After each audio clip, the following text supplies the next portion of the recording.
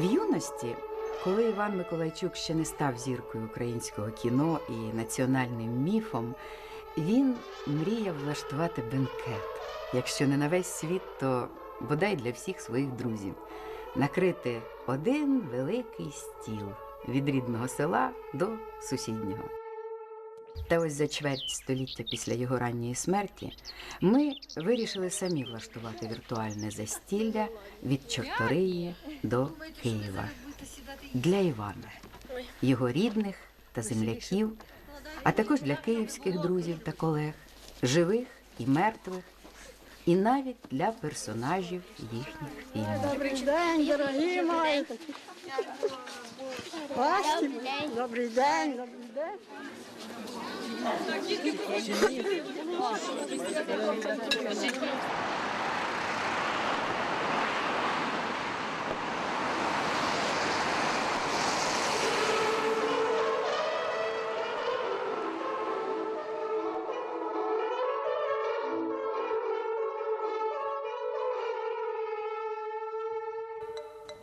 Виросло ціле покоління, яке гадки не має, що в нас був свій великий національний кінематограф.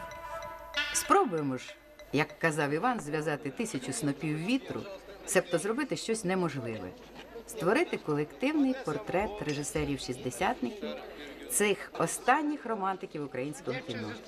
Пошукаємо те спільне в їхній долі, в їхньому духовному досвіді, що й робить їх єдиним поколінням, поколінням з блискучою та драматичною долею. Один один е, Я був як ваша тінь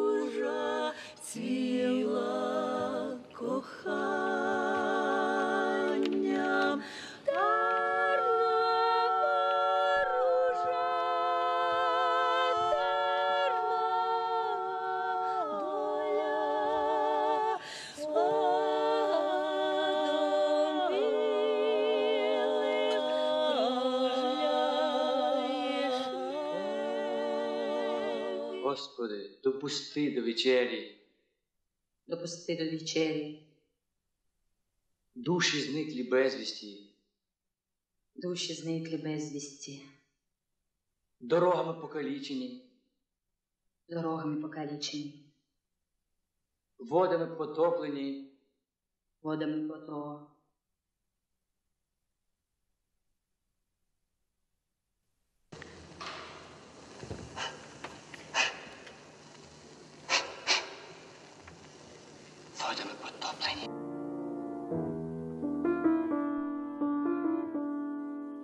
Нашому селі була конюшня панська, а в конюшні радянська влада влаштувала кінотеатр. Прямо там ясла, на, на- них поклали дошки, стовпець завели, завули, і там років 10 в яслах так сіно й пахло глядачам. Але не те, що я дивився фільм, а у нас був німий кіномеханік, а апарат крутили рукою. рукою. А щоб зображення було нормальне, треба було 24 кадри викручувати. Може, то запало мені в душу, що ти сам крутиш і на екрані бачиш, як рухаються люди.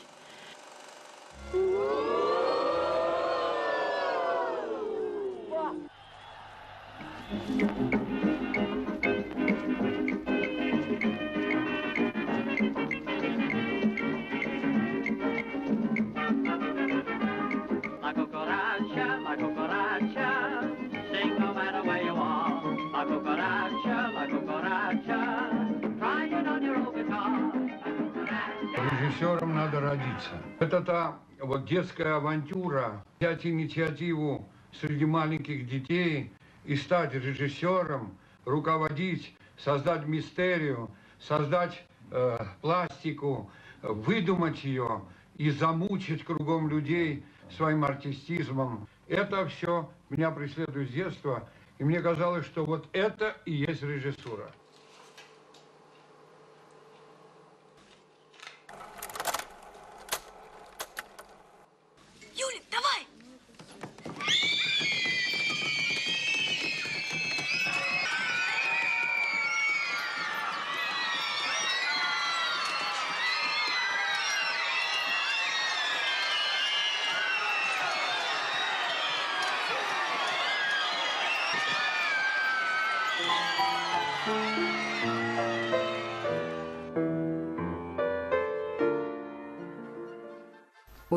Улюблені 60-ті. Юність наша співпала з хрущовською відлигою. То було свято звільнення від тотального страху і тотальної брехні. Ми відкрили очі, вуха, навіть роти та почали дивитися і слухати, начебто вперше, як бачать і чують немовлята.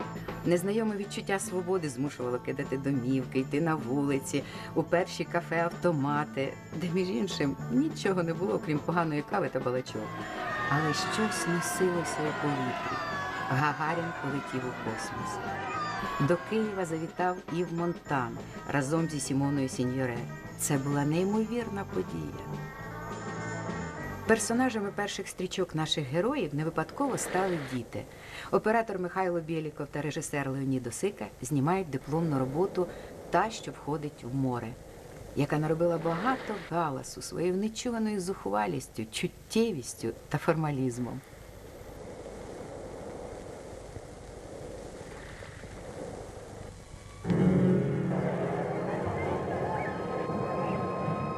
це славнозвісна площа Маяковського у Москві. Молодий оператор Юрій Ільєнко слухає поетів. Поруч в авангардному театрі «Современник» працює його дружина Лариса Кадочнікова. Добро должно быть с кулаками!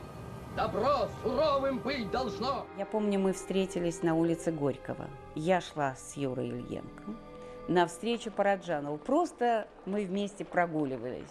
Сидел на черном чемоданчике человек в черном костюме, в черной шляпке, с усами. Чарли Чаплин, маленького роста. И когда Параджанов увидел меня, он вообще так долго смотрел на эти большие глаза мои и сказал, «А, вот Маричка, все, я больше никого не буду пробовать. Маричка. Я приехала в Киев, это было летом, и вдруг я увидела роскошный город. Мне Киев напомнил такую красивую, роскошную женщину. Я ушла из театра, подала заявление, и мы уехали на целый год в Карпаты. Я очутилась совершенно в другом мире. Мире поэзии, природы, воды, журчания ручья, смырек. И этот сумасшедший человек бросал в этот поэтический мир, в эту природу и играй. Понимаете, я вообще, я с ума чуть не сошла первые съемочные дни. А потом, а, и я даже сама не поняла, как я очутилась в этом мире. Раз, открылась дверца с золотым ключиком, и я вошла в другой мир и влюбилась в него. Ну,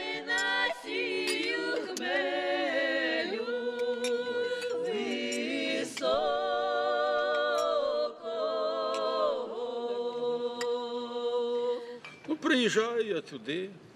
Значить, там мій друг Юра Якутович, значить, Ваня, все, я тобі даю свою хату, живи тут. Люблю Параджанова з усіх сил, жалію. Значить, ненавижу цього Іллєнка лютою ненавистю. Думаю, значить, гад печений такий, значить, приїхав, значить, банду якусь зібрав, грають якусь ідіотську таку гру, стрибають один через одного, б'ють, луплять один одного кулаками такими здоровенними. Думаю, ну гади, ці москалі знов значить, гвалтують наші рідні Карпати. Я маленький хлопчик, мені 10 років було, мені дуже було цікаво. І прийшли додому Сергій Паражанов і Юрій Ільєнко. І Паражанов купив великий оберемок вина. І сіли, так, батько користуючись, тому що дружини немає, тут порожня квартира велика. Поставили на столі, батько був балакуча людина, Параганов включився теж балакуча людина, Юра теж балакуча людина.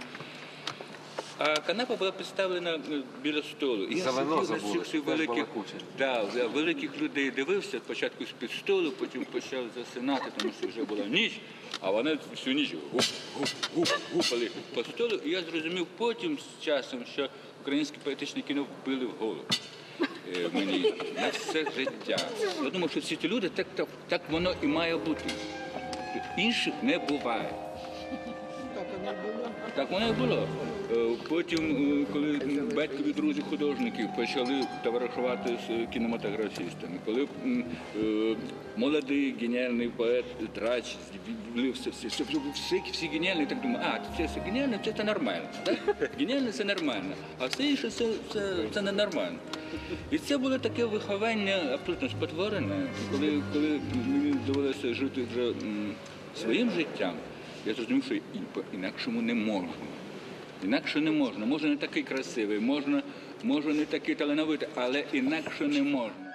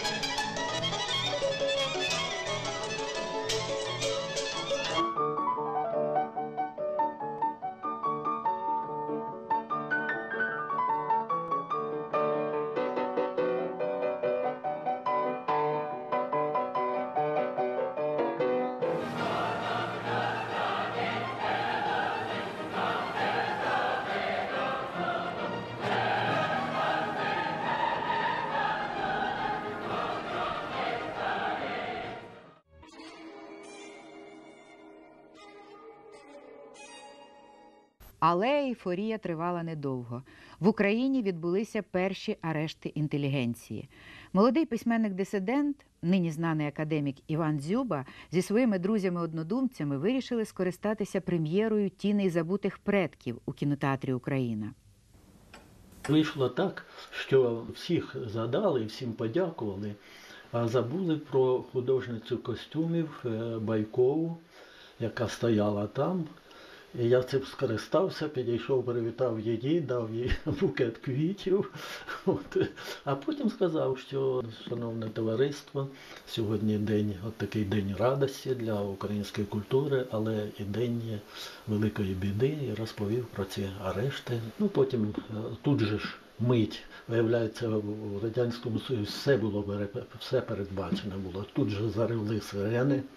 От і тут же кинувся директор кінотеатру стягувати мене з трибуни.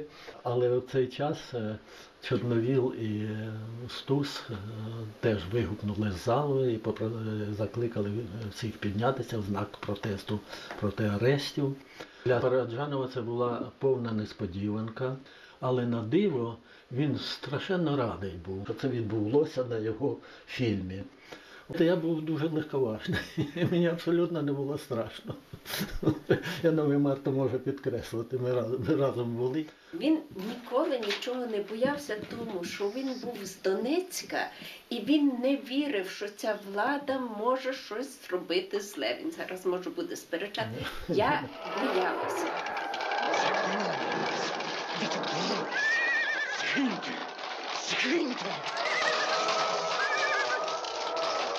А боятися було чого. Попри приголомшливий міжнародний успіх тіней забутих предків, 150 нагород. Параджанову не дадуть зняти київські фрески та інтермецо, і взагалі за 10 років він нічого більше в Україні не зробить. Ще на хвилі успіху тіней Леонід Осика створює абсолютний шедевр Камінний хрест. Якби він жив не в закритому суспільстві, це була б пряма дорога до світової слави.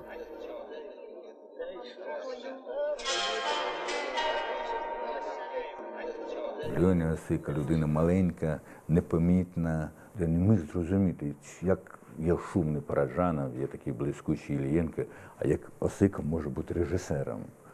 Але я пам'ятаю потрясіння Юрія Іллєнка після цього фільму. Я пам'ятаю, як люди просто шаленіли. Це, це неможливо. Як цей хлопчик маленький зробив таке. Юрій Ільєнко теж встигне зняти свій перший режисерський фільм Криниця для спраглих про самотнього старого у вимираючому селі.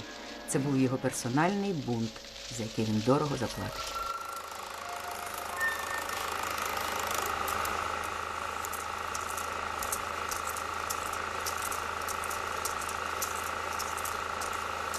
Коли вам 28 і фільм, який ви зняли, такий, що від нього може поїхати дах у цілого світового кінематографа, не лише українського, його забороняють просто фізично спалюють, то якось жити після цього дуже важко.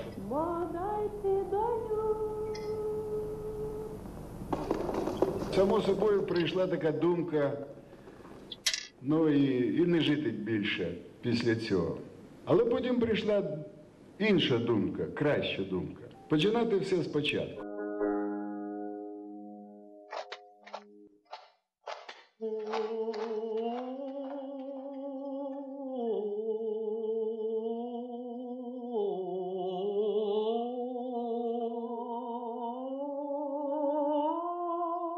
І режисер береться за вечір на Івана Купала, гоголівську страшну казку про людину, що продала душу дияволу заради багатства. Але не врятує його ані казка, ані головний приз Московського міжнародного кінофестивалю за білого птаха з чорною ознакою, якого вони зробили разом з Іваном Миколайчуком.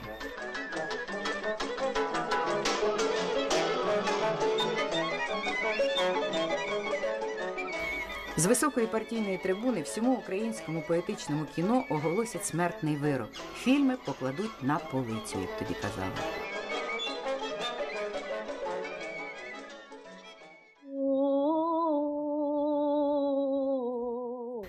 Боротьба пішла відразу по всіх напрямках. Микола Мащенко знімає комісарів, де вперше на радянському екрані з'являється комуніст, фанатик віри, який починає де в чому сумніватися і ставити незручні запитання. Іншими словами, впадає в єресь. Я перший в радянському кіно сказав, що треба грохнути ще одним залпом Аврори в комісара. Істина. Істина. Вчора істина була ясна. Шаблю руки рубай, а сьогодні кожен шукає свою істину. Моя істина, моя віра. Це сьогодні легко е, е, лепетати, бо не кажу говорити. А тоді треба було попробувати сказати, що треба чистити партію, і комісар Громов не просто пропонує її почистити, а сам заявляє про вихід з партії, щоб очистити партію і себе. Боротьба буде важка. Чого ти боїшся? Самого себе?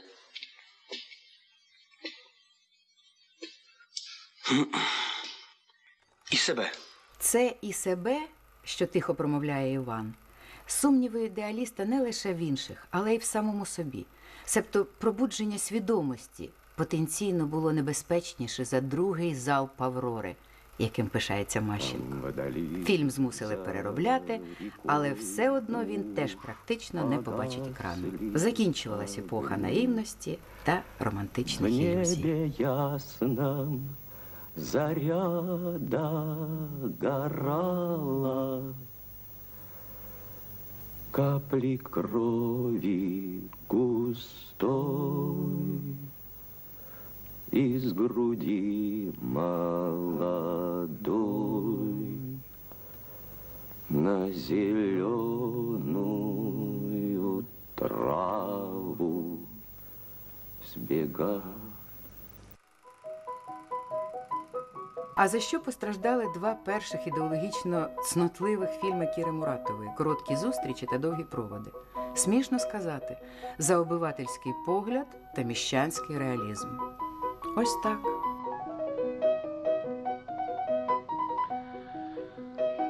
Ты совсем одичал. Тебя надо опять приручать, да? Посади меня на цепочку. Что? Продень мне в нос кольцо и посади меня на цепочку. Да? Или на цепи. Хм. В сущности, я тебя совсем не знаю. Мы с тобой из разных племен, Валя. Я из племени Мумба-Юмба, Ну, а ты, а ты из племени Микинаки. По нехоженным тропам протопали лошади, лошади. Неизвестно к какому концу унося. Система відчувала приховану небезпеку в естетичній і інтелектуальній свободі, навіть у природності мови. Муратову надовго відсторонили від кіно.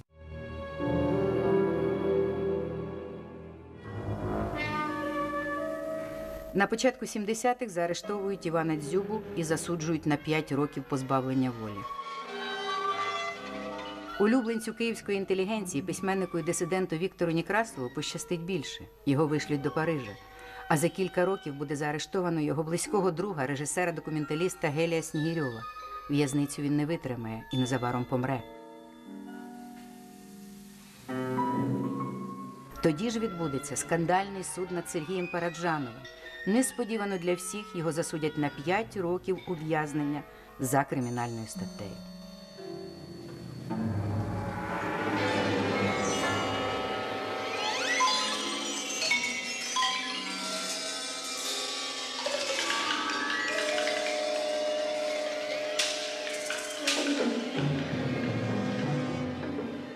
Цей документальний фільм був знятий молодим київським режисером Юхимом Гальперіним у таборі Волчевську, де сидів Параджанов.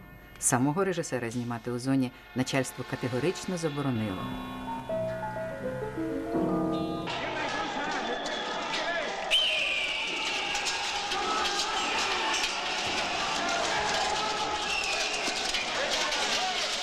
Первое задание я ему поручил. Это серьезно. Банку краски дал и поручил ему покрасить лестничную площадку. Я ему три раза давал эту краску. И три раза он все ее раздавал. Все кто-то находились, просили его, добрая душа. И я понял, что такие вещи даже поручать нельзя.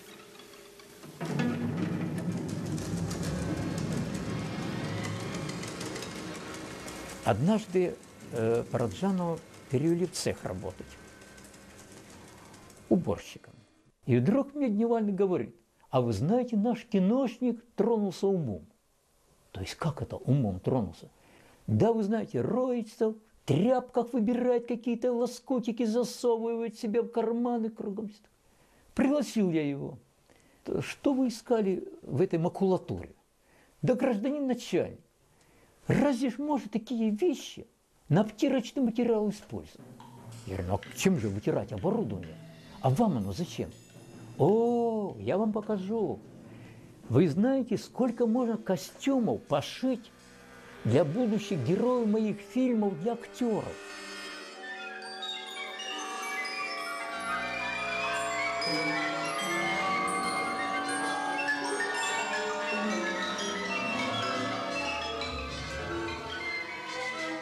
У цьому натовпі зеків на прохідній ішов у той день Параджанов.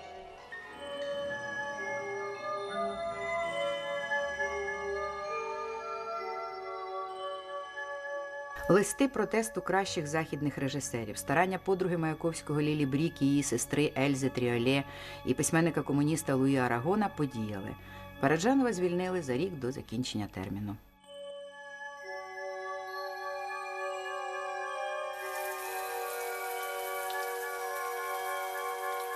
Я из тюрьмы привез 800 работ. Мои друзья считают, что вот в тяжелых условиях и в грязи, в которой я находился, буквально в грязи, я обрел удивительную чистоту в своих работах и духовность.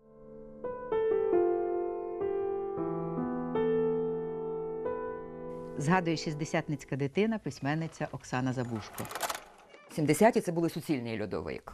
Принаймні Київ у 70-ті був абсолютно мертвим містом. От після е, значить, цих погромів в арештів 72-го року Київ був мертвим містом в 70-ті. Ну, якщо судити з цієї хроніки, не таким вже й мертвим був Київ. А взагалі-то ми недооцінювали епоху, що отримала назву Застій. Вона була блаженним перепочинком для людей. До в'язниць мільйонами вже не кидали. Не все ще було випито і з'їдено з того, що накопичили батьки і діди ціною тяжкої праці і жертв. Не всі труби проіржавіли. З художниками було складніше. Я не могла написать в анкете, что я снималась в тенях, в роднике, в белой птице.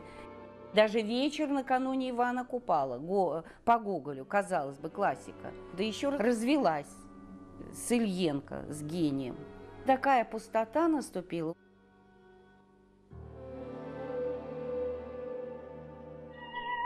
Юрій Ільєнко, рятуючись від особистої кризи, шукає нові характери і нову естетику. але швидко повертається до улюбленої мови поезії.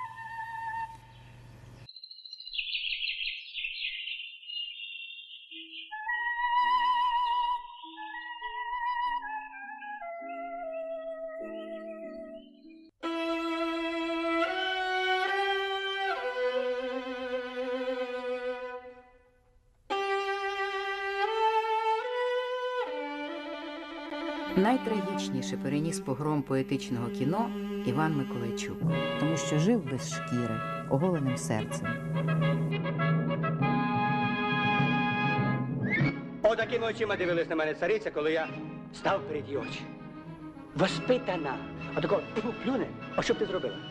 А вона тако тьфу, плюне і розітре, плюне і тут же розітре.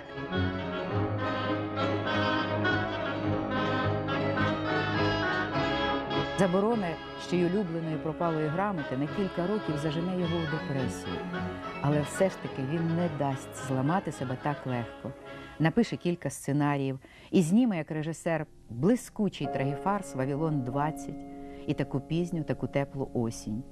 Помре у 46 років, фатальним чином повторивши долю свого першого героя у тінях забутих предків.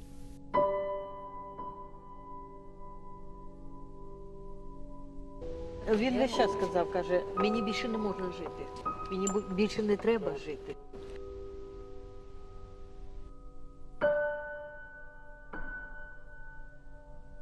Коли полюбили хоч одного літа. Згадай мене, Іваночку, Параси над Дмином.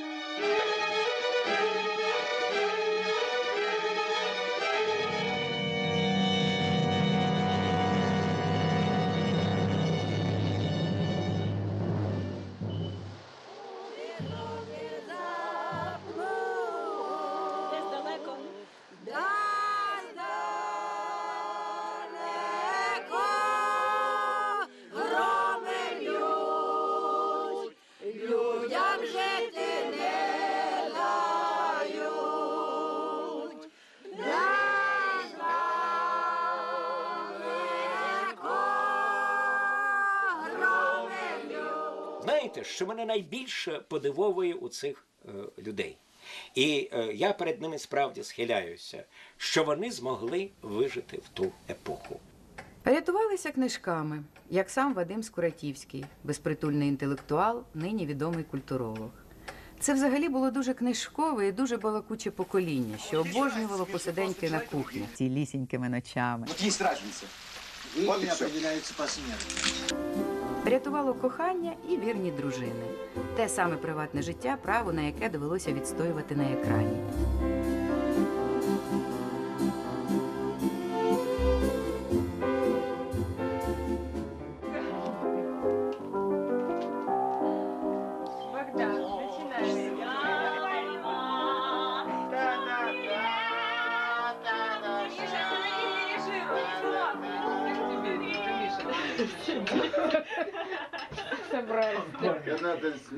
Снять и показать в І ще існував культ дружби. бідних, розкішних наших свят, де пили дешеву горілку, багацько курили і танцювали, травили політичні анекдоти, дуріли, гордували, глузуючи з усього на світі і навіть потроху з себе, потаємно опиваючись власною вищістю. За вас, нитики! Αχ, το πιερβενό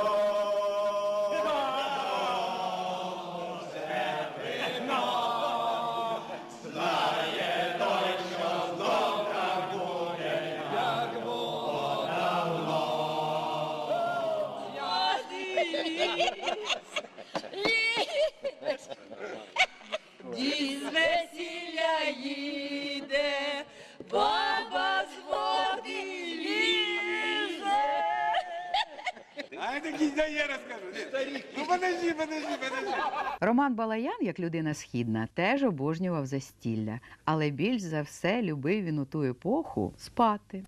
У вісні він літав над Києвом.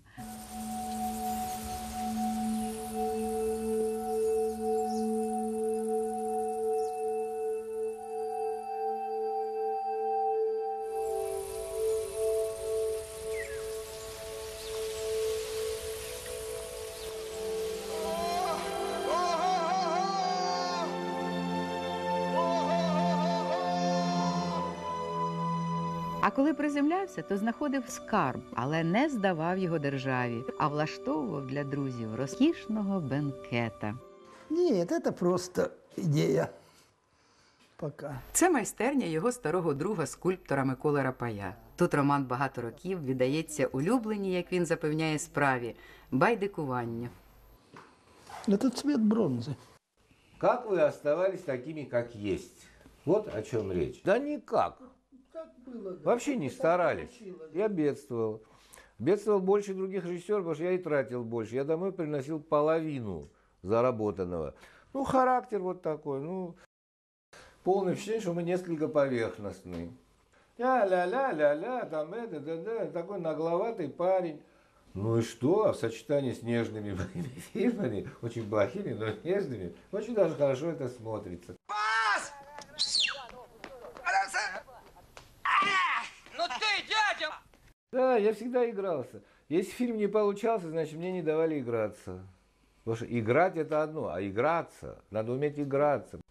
Ходил я по комнатам редакторским, шутил, веселился, пел, э, сдавал все время заявки, которые не принимали. Никакого участия в той партийно-совковой жизни студии никогда не было. Рома не был конформистом, я не был точно конформистом.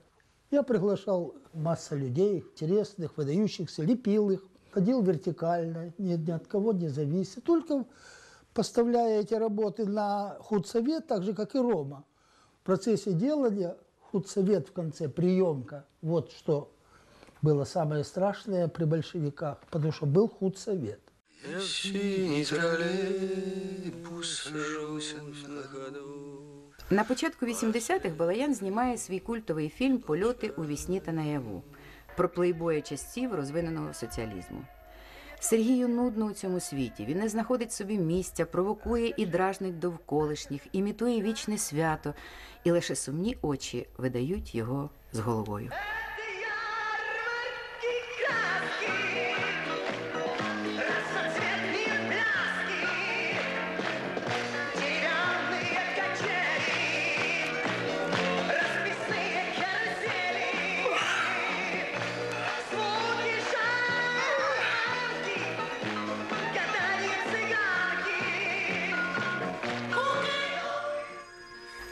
З нічого, з повітря епохи, з власних фантазій, з дурощів і прихованого болю, легко і граючись, Балаяну вдалося створити героя, в якому з захватом і гіркотою пізнає себе ціле покоління радянських інтелігентів.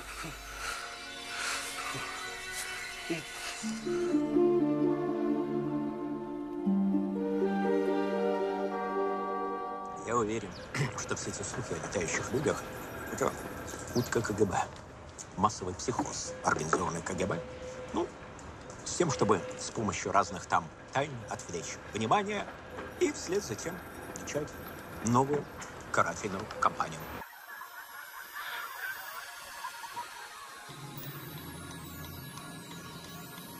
Несподівано вибухнув Чорнобильський реактор.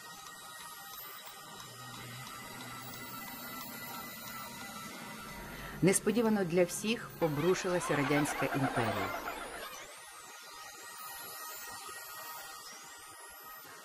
Несподівано для самих українців Україна отримала незалежність. І брати половці не впізнавали один одного.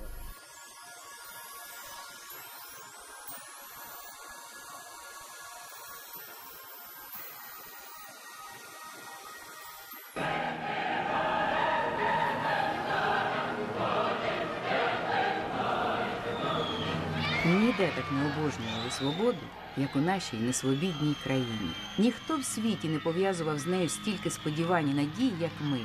І ось вона нарешті прийшла, вся й відразу, абсолютно доступна і принесла суцільні розчарування.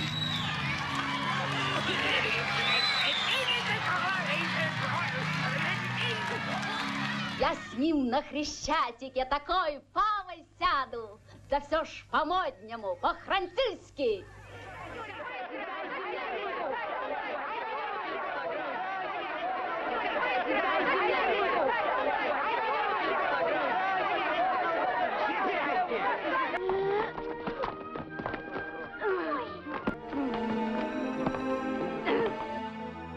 Кіноіндустрія обвалилася, і кінематографісти влаштували символічний похорон українського кіно, марно волаючи до держави про допомогу. Из всех искусств для нас важнейшим является кино. Это старинное изречение Ленина.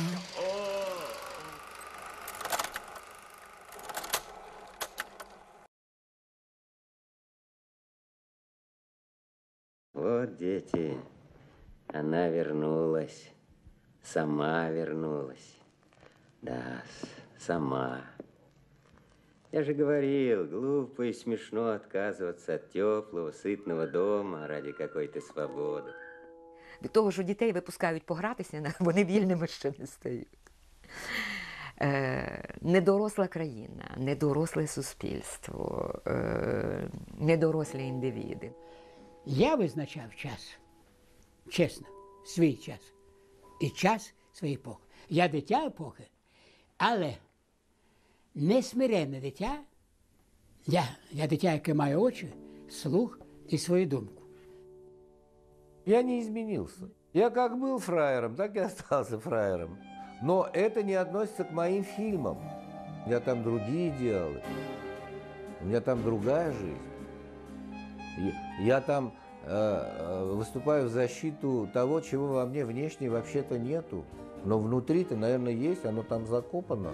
Я начал снимать об идеалистах с момента съемок фильма «Поцелуй». Я не о слабых снимаю, а о ранимых и менее толстокожих, которые могут не выжить.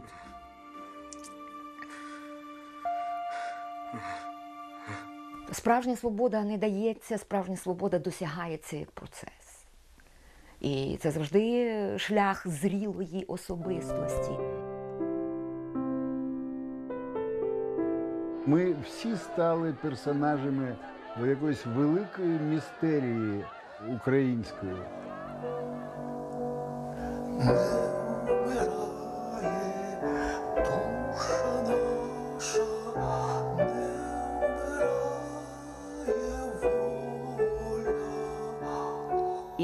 Переживе Майдан із захватом як перемогу національної культури. А ще напише сповідь, і ми встигнемо зняти її презентацію. Я маю написати абсолютну правду про своє життя. І судитиме мене апостол Петро не по фактах, які я буду розказувати, а по тому, як я ставлюся до свого життя. Чим я пишаю, що я утаємничую.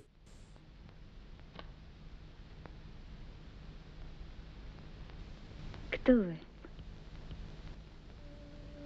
М?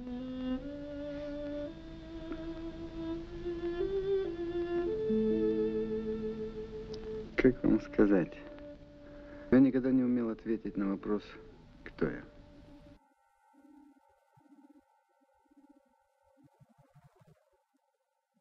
Я не жаліюся, але е, ну, паузи між моїми фільмами були катастрофічні. Е, передостанній фільм це Лебедине озеро Зона. Два призи Канського фестивалю. Наступний фільм був вже Молитва за гетьмана Мазепу. 12 років для діючого режисера без роботи. Скажіть, будь ласка, можна збожеволіти чи ні? З дитинства більшого супермена для мене не існувало. І в 48, коли він покликав на Мазепу, я сказав, в якої якості. А він на мене так подивився каже, в якості Сергія Якутовича. І це для мене це найдорожче.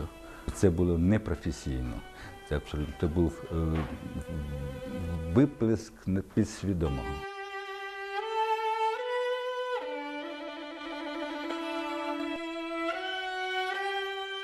Чому така страшенна анафема прийшла по фільм? Бо я вдарив точно. Абсолютно в десятку. Абсолютно, безпомилково, со всієї своєї дурацької мочі. Так що сильніше вдарити було неможливо. Це стане ясно, коли я помру.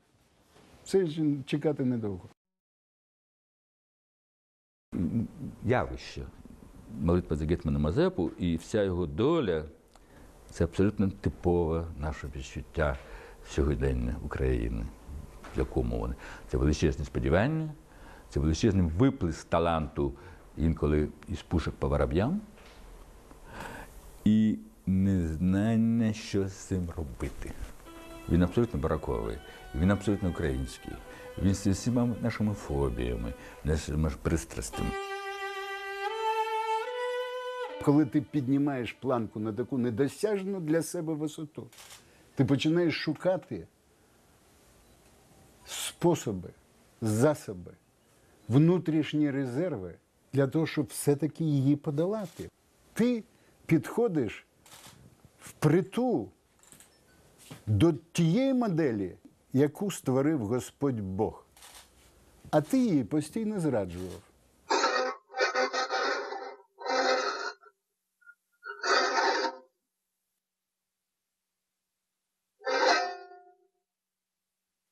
Завдання митця, в принципі, шліфувати себе як посередника, як медіатора оцієї Божої, Божої волі, Божого гласа, який в тобі. Це не, він не там десь, він в тобі.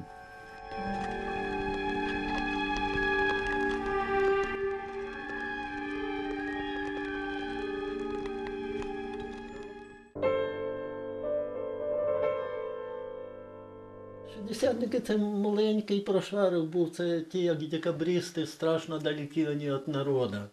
Мені шкода, це саме блискуче покоління 60-х, 70-х років. Їх неймовірно е, принижували. А перепрошую, на це пішло ціле життя. Це нереалізоване покоління. Це покоління, яке встигло заявити і продемонструвати свій потенціал. І все ж таки це найреалізованіше, найщасливіше радянське покоління художників. Шлях свободи у невільному суспільстві шістдесятники пройшли на самоті, на свій страх і ризик, і виявилися напрочуд плідними. Саме їхні унікальні особистості і є головною цінністю культурної епохи, що минає. підсумком її духовного досвіду.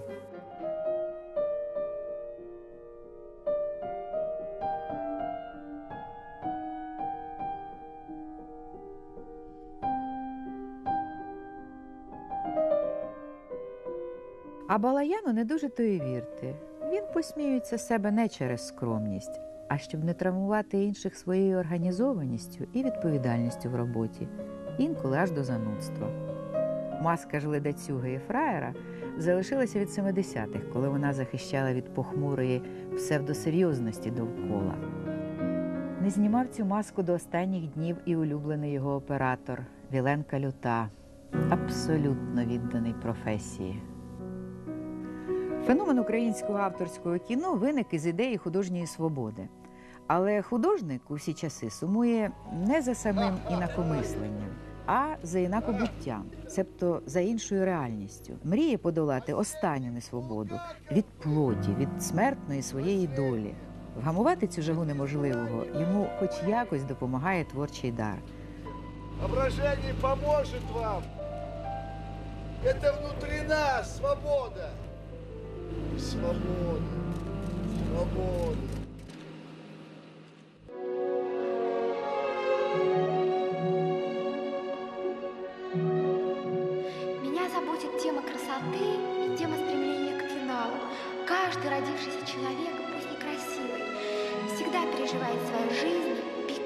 Красоты. Хоть полчаса, хоть несколько мгновений, но он бывает прекрасным. Некоторым даны минуты, некоторым даны мгновения, у некоторых как бы месяцами длится красота. Все время красота на пике, а потом как-то исчезает. А у иных же годами лицо красивое. Как объяснить? Но красота всегда стремится к финалу, к самоуничтожению. И эта тема тоже меня заботит. Как объяснить? Как объяснить? Я не знаю.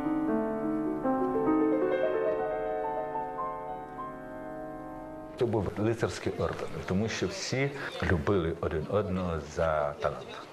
Коли почали вони відходити, інші світи, м, розумію, що вони не відходять, вони залишаються з нами, і те, що ми тут сидимо зараз, інакше не можна.